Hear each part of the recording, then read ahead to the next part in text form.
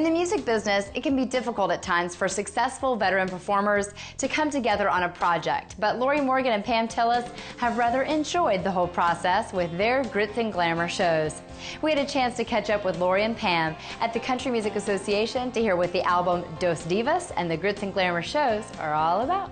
I used to do the Ralph Emery show every day of the week, and Pam had done it some as well, and um, we just kind of passed uh, a little bit in the in the night, and we did a show together in the '90s with Carlene Carter, the Craft Tour, and we we knew each other and I guess respected each other's talent. But that was the height of both of our careers, and we just kind of we just really didn't know each other at all. We were under a lot of pressure.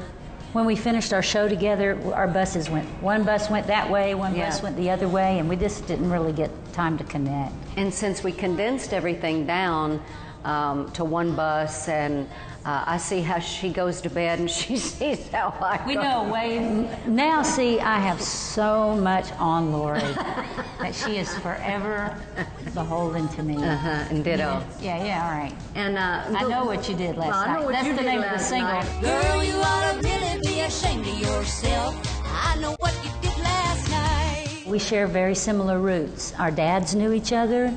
They've actually worked together. Uh, we've been we grew up around the Grand Ole Opry. We both love traditional country music, and at the same time understand that country music can't stay stuck in the past. But we just we we really love a lot of the same kinds of music, and that's that's been a big part of it. Don't you worry, I ain't telling no one. I know what you did. I was there when you did it. No matter what you do, girl, you're never gonna live it down. We're so proud of the record. We did four four solos apiece, and then six duets. I'm a coffee in the morning. A breakdown without warning. I'm a best friend and a mother to the world. Pam and I sign autographs every night after the show, and that's where we get a lot of our stupid or crazy or great ideas that we uh, uh, either it's a songwriting thing or just an Things idea. to talk about on stage. And we, between people coming up and getting autographs, we uh, we start talking about different things. Well, all these fans kept coming up, going, "When are y'all going to do a duet album together? You know, when when are we when can we expect a duet album?" And I'm like, "Yeah, Pam, when can we expect this?" when are we going to do that?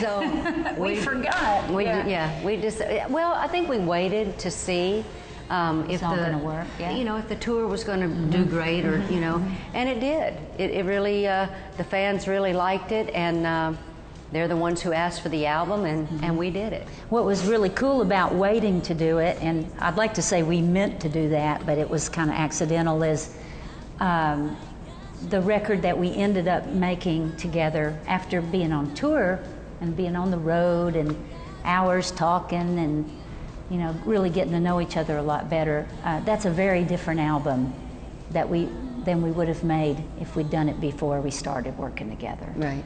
Uh, so this album that we've made, it, it's really very It's much us. it's us. It's a musical dialogue. It's a it's a friendship on right there in the grooves, and it's really cool. It's a very personal record. Takes some risk.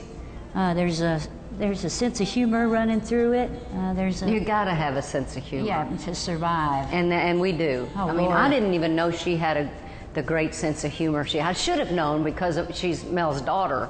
But you know, sometimes it skips a generation. you don't know. Those divas, it drove him crazy.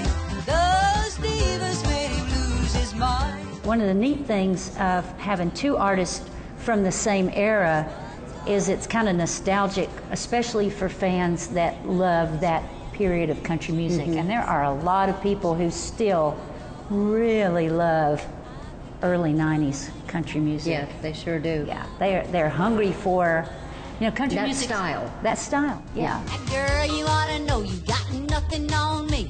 I know what you did last night. I hope everybody will check out the new record. It is really fun, and come see us on the road because it is a fun show. And the title of the album is Dos Divas. And the title of the tour is Grits and Glamour.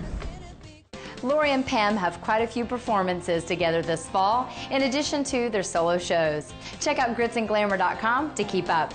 It's time for another quick little break, but we've got lots more on the way. We've got a hot new artist coming up next, right here on Inside Music Row. Don't go away. Hey, everybody, don't go anywhere. I'm coming up next right here on Inside Music Row.